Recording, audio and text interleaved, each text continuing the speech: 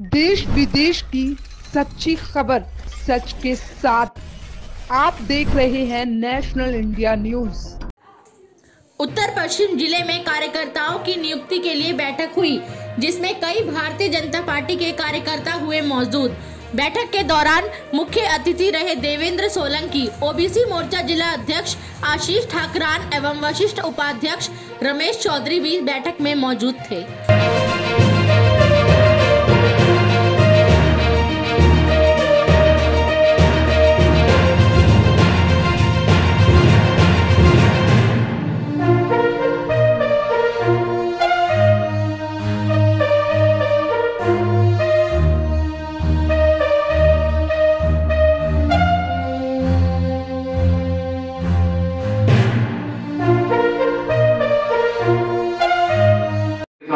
Sir आज ये जो प्रोग्राम रखा गया इसका मेन उद्देश्य क्या था? देखिए संकल्प बैठक थी हमारी जो ओबीसी मोर्चे की नियुक्ति होनी थी वो आशीष ठाकरान जी जो इस ज़िले के अध्यक्ष हैं ओबीसी मोर्चा के उनने अपनी टीम को घोषित किया है। और मैं अपने सभी जो नवनियुक्त पदाधिकारी उनको हार्दिक की गहराई से बधाई देता हूँ और शुभकामनाएँ देता हूँ। जी।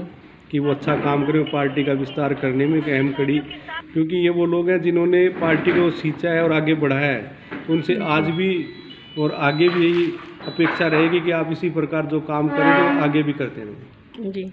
जैसा कि आपने अभी तेरह हज़ार करोड़ के बारे में बोला है इसके लिए आप और क्या कदम उठाएँगे?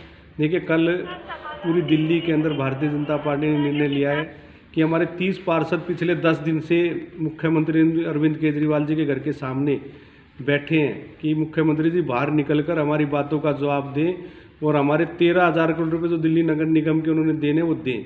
लेकिन उस उनके कानों पर जू नहीं रेंग रही इसीलिए भारतीय जनता पार्टी ने पहले विधानसभा स्तर पर उनके विधायकों का घेराव किया। और अब कल सुबह दस बजे से शाम पाँच बजे तक अलग अलग मंडलों के वार्डों के अंदर उपवास का कार्यक्रम रहेगा। सुबह दस बजे से पाँच बजे तक हमारे कार्यकर्ता और क्षेत्रीय लोग R W N G O और जो स्थानीय निवासी उनको मिलाकर हम सब बैठने वाले हैं कि अपनी आवाज़ उन तक पहुँचाएँ और हमारे सभी मोर्चे विधानसभा में वो भ्रमित करने के लिए दिन का विशेष सत्र बुला रहे हैं। जबकि निराधार बातों को वो क्योंकि वो झूठ बोलने में माहिर हैं झूठ बोल बोल कर जन सत्ता के अंदर रहते हैं। उनको बेनकाब करने का काम भारतीय जनता पार्टी करेगी या तो उन्होंने तेरह हज़ार करोड़ रुपये देने पड़ेंगे नहीं तो अपने पद से इस्तीफा देना पड़ेगा। इस तरीके के साथ हम उन पर आक्रमण करेंगे क्योंकि जो दिल्ली नगर निगम के कर्मचारी हैं मान लो दो कर्मचारी उनकी मियाँ पत्नी और पति दोनों अगर निगम में काम कर रहे हैं तो उनके घर का गुजारा चार महीने से सैलरी नहीं दे पा रही दिल्ली नगर निगम। जी। लेकिन उनका घर कैसे चलेगा? जी। ये बात हम कोई उनसे खैरात नहीं मांग रहे हैं। जो दिल्ली टैक्स का पैसा अलग अलग माध्यम से आता है दिल्ली नगर निगम का हेड जो होता है उसके हेड के अंदर अलाट होता है पैसा वो पैसा हम मांग रहे हैं। ना कोई उनसे हम कर्ज मांग रहे हैं ना कोई उनसे खैरात मांग रहे हैं हम अपने हिस्से का पैसा मांग रहे हैं। जी धन्यवाद। आप बताइए सर अपना। मैं आशीष ठाकरान जिला उत्तर पश्चिमी भाजपा ओबीसी मोर्चा जिला अध्यक्ष। जी। इस प्रोग्राम में आज आपका मेन उद्देश्य क्या रहा है? ये कार्यक्रम अभी हमारा ज़िले का संगठन नया नया बना है। जी। तो ये हमारे मेरी टीम के ओबीसी मोर्चा की टीम के नए पदाधिकारी हैं। आज इनकी आधिकारिक घोषणा जिलाध्यक्ष देवेंद्र सोलंकी जी ने की है। जी। जी। कार्यकर्ताओं का कार्यकर्ताओं को कोई संदेश देना चाहेंगे? कार्यकर्ताओं के लिए यही संदेश है जी डेढ़ साल बाद चुनाव है। जी। चुनाव तो बाद में देखेंगे। उससे पहले तो ये हमारे जो निगम के लोगों की परेशानी जो अध्यक्ष जी ने भी बताया कि चार चार महीने से तनख्वाह नहीं आ रही है और उनको जीवन यापन में बहुत परेशानी आ रही है।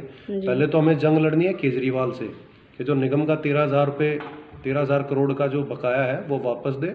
निगम के कर्मचारियों की समय से तनख्वाह मिले और उनके परिवार एक मुफलसी का जीवन छोड़ के समय से तनख्वाह मिलेगी तो अच्छे से रहेंगे। जी। अभी हमारा लक्ष्य यही है। आपको यहाँ पर क्या पद मिला? है हमारे को ज़िले में उपाध्यक्ष का पद मिला है। जी। पहले भी उपाध्यक्ष का पद रहा है।